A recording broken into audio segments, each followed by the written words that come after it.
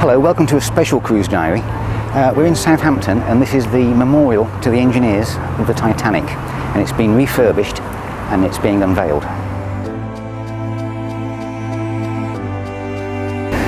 By the way, this isn't my crew, I don't get a crew. These are from Channel 4 television. They're doing a documentary about Titanic. They've refurbished the memorial, we'll see that being unveiled shortly. Before that happens, let's go and look at a smaller monument just over there to some equally brave people. This is to the musicians who played on the Titanic as the ship went down. You saw it in the film. Well, it's true. Here are their names and the inscription. They died at their posts like men.